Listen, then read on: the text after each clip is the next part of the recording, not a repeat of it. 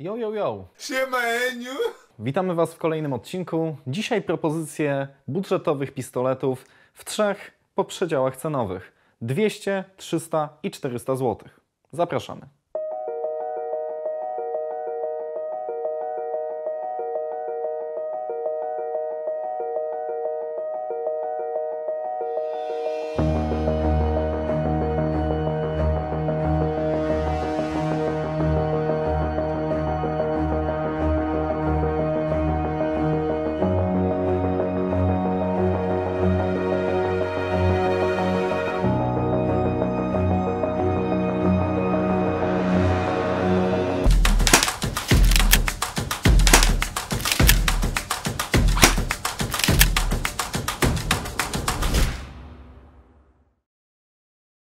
Już od lat w Airsoftcie utarło się, że w zasadzie taką konkretną klamkę, z którą możemy już coś zdziałać na e, polu strzelanki, no to taki budżet, od którego trzeba zacząć, to jest to 400 zł. Dzisiaj pokażę Wam, że jest kilka fajnych opcji poniżej 400, a nawet i poniżej 300 zł, które są warte rozważenia, jeżeli macie cieńszy portfel. Zacznijmy od klamek do 200 zł. Na przykład Mamy tutaj pistolet klasyczną 1911. Jest to replika od firmy HFC. Jest to najprostsza z najprostszych na świecie gazówek. Mamy tutaj kurek działający w trybie single action, jak i double action. Nie działa nam, tu niestety bezpiecznik chwytowy. Mało tego, nie działa nam nawet przycisk zwalniania magazynka. Jedynym bezpiecznikiem i manipulatorem, który nam działa jest bezpiecznik skrzydełkowy. Z kolei magazynek jest tutaj na taki mały zatrzask wewnętrzny. Widać? Tę sprężynkę musimy odciągnąć w dół. Ona nam się blokuje, od góry wsypujemy kulki. Jest to troszeczkę o tyle problematyczne, że nie będziemy mogli przenosić tych magazynków w ładownicach, bo te kulki nam się wysypią, ale zawsze coś za coś. Mamy tutaj pistolet za stówkę. Przy wkładaniu musimy pamiętać, żeby zrobić to sprawnie i szybko, żeby ten zatrzask po prostu już zwolnić, kiedy kulki będą dochodziły do komory hop-up. Gringas ładujemy oczywiście klasycznie od dołu. I w tej cenie jest to chyba najlepszy kolcik, jakiego możecie znaleźć, bo również w tej cenie mamy e, w ofercie różne sprężynówki, ale myślę, że jeżeli możecie kupić sobie gazówkę w cenie sprężynówki, a FPS-y mamy tutaj znacznie lepsze niż w sprężynówkach, które mają te 200, a czasami nawet i mniej niż 200 FPS-ów, no to tutaj w cenie sprężynówki mamy gazówkę e, z prędkością wylotową 300-320 FPS-ów, więc bardzo dobry kompromis. Jeżeli natomiast nie podobają Wam się kolty, chociaż powinny się podobać każdemu, mamy również beretkę od SRC. I tutaj już coś trochę bardziej praktycznego, bo tu już mamy pełnoprawne magazynki na Gringas. E, Takie magazynki również mamy w ofercie. Linki oczywiście i do pistoletów, i do magazynków od Beretty będziecie mieli w opisie tego filmu. W tym wypadku kulki ładujemy od góry. I tutaj zbiornik gaz, e, na Gringas jest w magazynku, a nie tak jak w tańszych gazówkach, w tych jeszcze tańszych gazówkach, może tak to określę, gdzie zbiornik jest w pistolecie. I w tej beretcie mamy również regulowany hopek. Niestety w kolcie od HFC tego nie mamy, ale jest to klamka, jest to gazówka jeszcze tańsza niż ta beretka, bo obecnie tę beretkę możecie u nas kupić za plus minus 130 zł. I myślę, że z naszej oferty, z klamek, które możecie kupić poniżej 200 zł, ta beretka zdecydowanie prowadzi. Z kolei jako ciekawostki mamy tutaj również takie urocze maleństwa, które są bardziej w ramach ciekawostki, a nie pełnoprawnej klamki. Zresztą odpowiedź nasuwa się sama dlaczego. Spójrzcie na wymiary. Tutaj mamy bardzo mały zbiornik na Gringas, przez co mamy tutaj około 130-140 fps. Magazynek dokładnie tego samego typu co w kolcie. tylko że troszkę mniejszy.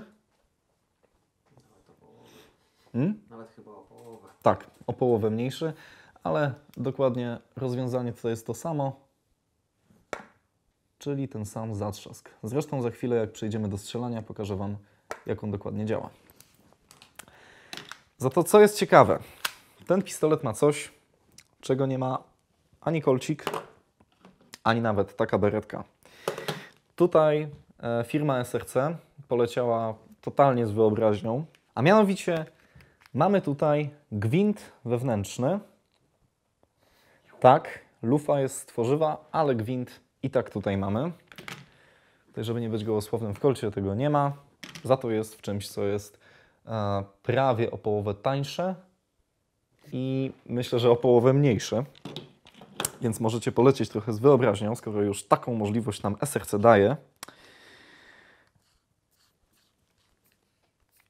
I pobiegać sobie z uroczą miniaturką pistoletu Jamesa Bonda. Możemy tu wkręcić tracer albo przejściówkę pod tłumik. Nie będzie to miało większego sensu, ale tracer, nie oszukujmy się, jeżeli coś strzela, to tracer zawsze ma sens. E, Wprawdzie montując ten tracer tutaj podejrzewam e, już jest czterokrotność wartości samego pistoletu tutaj łącznie, ale kto Boga temu zabroni? Trochę mi się kojarzy z pistoletem Cezarego Pazury w, w filmie Sara. On też miał taki mały pistolet. Pazura? Tak, w Sarze. Film Sara. Też oglądałem ten film, ale Kacper, jak znam życie, pewnie wrzuci jakiegoś screena tutaj. No pewnie tak.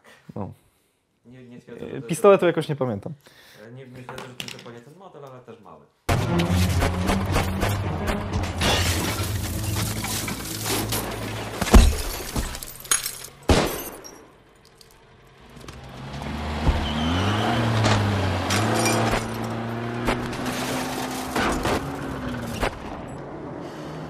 To były klamki do 200 zł, w tym tylko dwie, które faktycznie nadadzą się do takiego używania na strzelankach i dwie w ramach takiej ciekawostki albo repliki ostatniej szansy. Teraz idziemy dalej, czyli budżet trochę większy, do 300 zł i tutaj wśród boczniaków, no tu już robi się naprawdę ciekawie. Na przykład klasyka klasyk, już od wielu lat na rynku, w tym też ja prywatnie używam takiego pistoletu, Cymoglock CM030. Wciąż jest do kupienia poniżej 300 zł. W naszej ofercie znajdziecie wersję zarówno czarną, jak i wersję piaskową. I dzięki temu, że jest to elektryk, nie ogranicza nas temperatura, więc czy lato, czy zima, czy jest plus 30, czy jest minus 30, no minus 30 to już tak trochę naciągane, ale będzie nam dalej ta klamka strzelała. Oczywiście baterię ładujemy sobie pod lufę, tutaj. I chopka regulujemy sobie tym pokrętłem. Plus jest taki, że nie musimy klamki za każdym razem rozkładać, kiedy chcemy wprowadzić korektę w hop-upie, tak jak ma to miejsce w gazówkach z blowbackiem.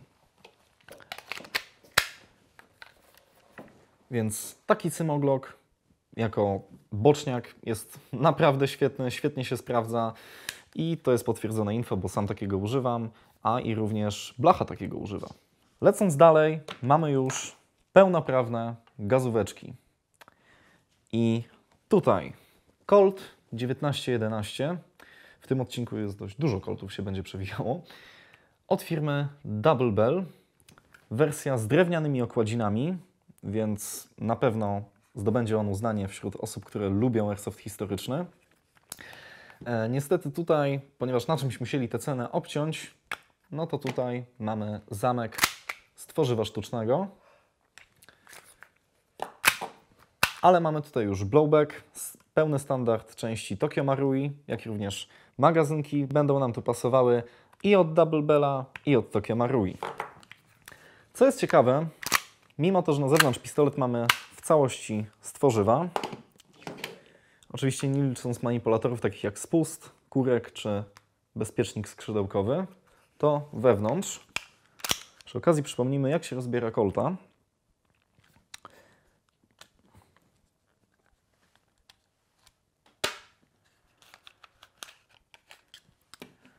To wewnątrz mamy naprawdę solidny metalowy szkielet prowadnicy. I tutaj to jest naprawdę konkret, bardzo grube ścianki, więc fajnie, że Chińczyk o tym pomyślał, a nie wstawił na przykład jakiejś cienkiej blaszki albo wszystkiego zrobił w plastiku, bo tak już się również zdarzało w Airsoftie. No i tutaj oczywiście klasycznie pokrętełko do regulacji hop-upu.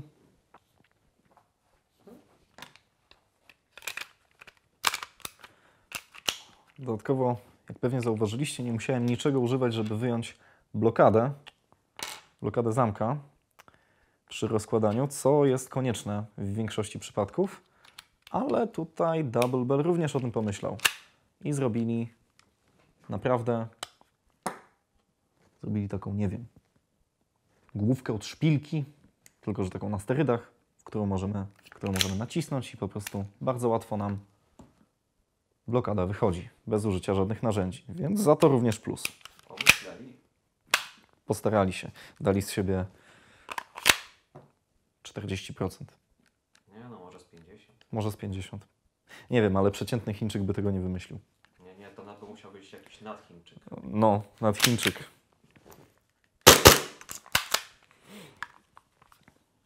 Kolejna klamka, która jest już tak trochę na granicy. Tutaj już cena waha się między 290 a 310 zł. Również Colt, e, tym razem od firmy JGG, czyli Golden Eagle. Tak, Golden Eagle, ale tutaj już mamy w całości metalową klamkę, czyli wersja na bogato. Oczywiście konstrukcja jest również w standardzie Tokio Marui. Wiadomo, że nie będziemy mieli tutaj aż takiej celności, jak w przypadku klamek powyżej 500 zł na przykład, czyli takich jak firma WE, ale jakby w tej cenie mamy świetny metalowy pistolet, gdzie mamy standard części Tokio Marui, a i również wagowo jest on niczego sobie. Jeżeli natomiast już macie dość klasycznych koltów, bo tak też się czasami zdarza, no to można pójść trochę dalej i mamy tutaj high capę, również od firmy Golden Eagle. E, Link oczywiście w opisie. I tutaj również fajnie, bo standard magazynków od firmy WE. I przy okazji o tym też przypomnę, że kolty, które mają po środku wsyp kulek, a nie z boku, e, to to jest standard firmy Tokio Marui, a nie standard firmy WE, ponieważ w firmie WE mamy tutaj magazynek zasłonięty i kulki wsypujemy dosłownie przez mały otwór. Więc te magazynki nie będą pasowały nam do WE i na odwrót. Z kolei w przypadku Colta High Capa standard jest jeden i ten sam i w firmie WE, i w firmie Tokio Marui, i w firmie Golden Eagle, więc mnóstwo magazynków na rynku, również i długie magazynki w naszej ofercie. No i oczywiście blowback.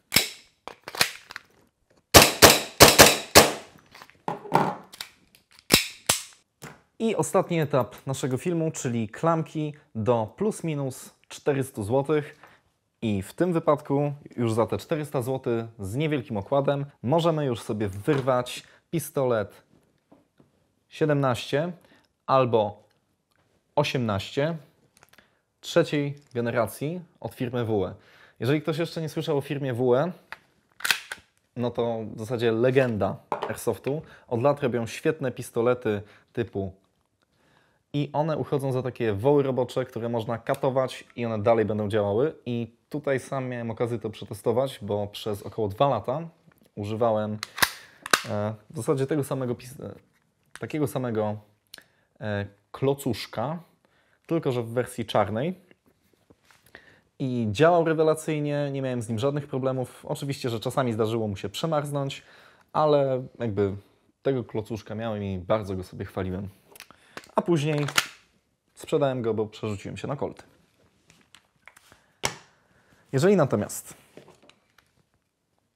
klocki Wam się nie podobają, to w tej cenie mamy również taką high capę na sterydach. A dlaczego na sterydach? Porównajmy ją długością do klasycznej. Widać? Jest na maksa o centymetr dłuższa. Jest nam maksa o centymetr dłuższa. rok cyklu wszedł tutaj jak nic. Na pewno. No, Chodzi o to, że to jest, to high, to jest high capa, Odblok. e, odblok. to jest high capa 5.1, czyli 5.1 cala, to jest z kolei high capa 6-calowa. Więc mamy tutaj mega długą lufę wewnętrzną, e, klamka od firmy Double Bell i tutaj naprawdę, e, mimo to, że jest to bardzo tania gazówka, serio jest to chyba jedna z tańszych high cap, e, jakie obecnie można znaleźć na rynku, to mimo to ta długość lufy wewnętrznej tutaj sprawia, że mamy bardzo dobrą celność. Można powiedzieć, że ta high capa robi wrażenie. Mm, Pozdro dla kumatych. Niestety przy tej długości zamka nie będziemy mieli tak dobrej szybkostrzelności jak przy krótszej, bo tutaj mamy naprawdę masywny kawał żelastwa. Co za tym idzie też szybkostrzelność nie będzie jakaś powalająca, ale hello, to jest klameczka poniżej 4 stówek.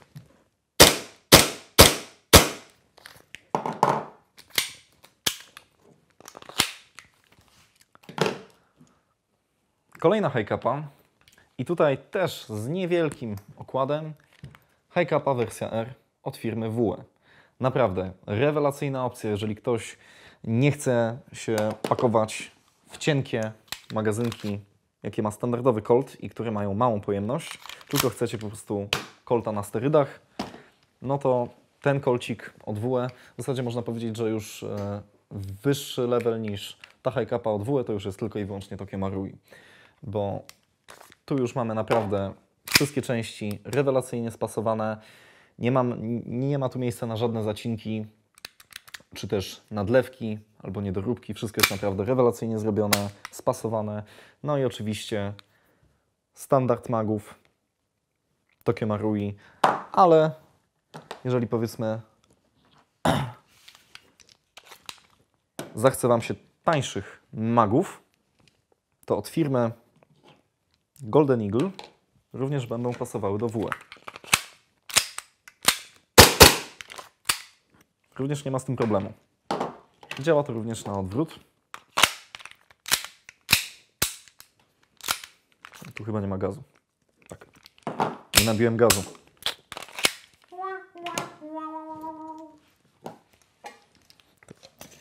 Ale dokładną kompatybilność e, tej high-capy i high-capy Tokio Marui, nie WE, tylko Tokio Marui, e, pokazywaliśmy właśnie w filmiku, e, gdzie omawialiśmy high-capy firmy Golden Eagle i gdzieś tutaj będziecie mieli odnośnik do tego filmiku, gdzie jest porównanie nawet kompatybilności zamków i części wewnętrznych. I moja ulubiona klamka z tego filmu, którą w zasadzie nie tak dawno prezentowaliśmy, Hater od firmy Umarex. Do 400 zł i jest to rewolwer, ale rewolwer nie na łuski, tylko na wianuszkowe magazynki. W zestawie mamy trzy takie magazynki. Regulacja hop-upu, co w rewolwerach praktycznie nie ma miejsca w Airsoftie. E, zasilanie na CO2, a i tak prędkość wylotowa około 300-320 fps, więc mieścimy się w limitach C-kubowych. Zdecydowanie według mnie najfajniejsza część e, tejże prezentacji. Nie wiem, czy to dlatego, że lubię rewolwery, ale nie jestem tu jedyny. Kasper, też lubisz rewolwery. Sam mam dwa. No. Także jakby musicie mi wybaczyć, że nie jaram się tak bardzo high-capą jak inni. No po prostu, no. My z Kasprem jesteśmy rewolwerowcami. To jest po prostu choroba. To jest choroba. Po prostu wolimy mieć 6 kul niż 30, tak jak jest w high-capie. Teraz pokażę Wam dokładnie, na czym polega ten nietypowy system ładowania magazynka. Czyli tak, najpierw sprężynkę odciągamy do samego końca, aż zaskoczy. Poszło. I teraz od góry, jeszcze musimy w kolcie przytrzymać sobie tutaj tę zapadkę. Patryczku, uda Ci się to pokazać? Tu mamy taką małą zapadkę. No dobra, no okej. Okay. Musimy ją przytrzymać i dopiero zacząć ładować kulki. Teraz ją puszczamy. Kulki nam nie wypadają. I teraz w tej pozycji wkładamy magazynek do pistoletu. Teraz uwaga, musimy zrobić sprawny ruch, bo jeżeli trochę ją zwolnimy, to kulki nam się kompletnie wysypią w środku pistoletu i będzie zacinka. W ten sposób. Oczywiście gringas. I zobaczmy, jak klamka do 200, do 300 i do 400 zł strzela. Ale najpierw chrońmy nasze oczka. I dzisiaj na tarczy pan łysy motocyklista. Najpierw single action.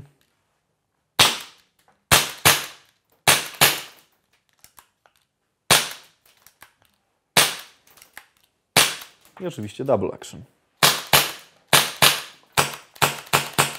I już strzelamy na pusto. No, niestety szybko magazynka sobie tutaj raczej nie wymienimy, ale w tej cenie myślę, że jest to chyba najlepsza opcja. Również kolcik z moimi ulubionymi drewnianymi okładzinami.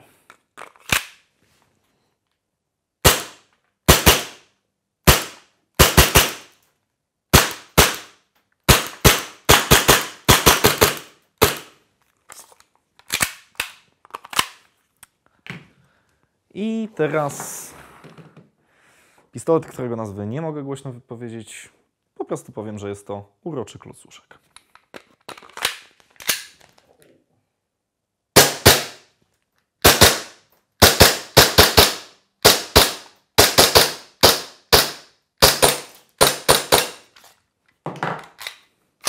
Więc takie są nasze propozycje e, dla osób, które mają troszkę mniejszy budżet na replikę boczną, czyli do 200, do 300 i do 400 zł.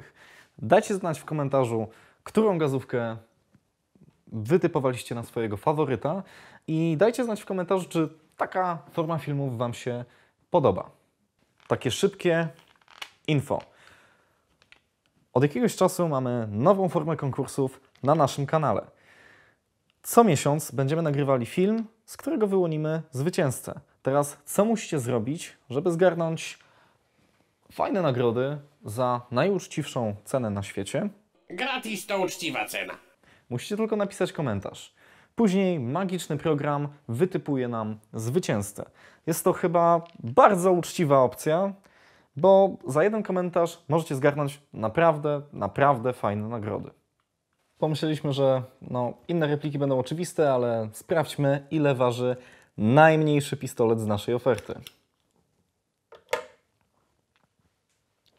Okolice 150 gramów, czyli mniej niż większość gazowych magazynków do pełnoprawnych pistoletów.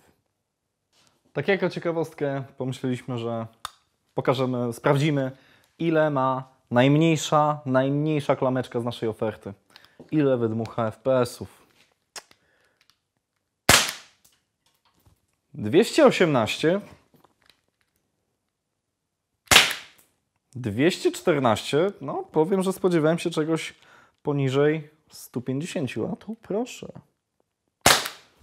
SRC, ja Ciebie nie doceniałem.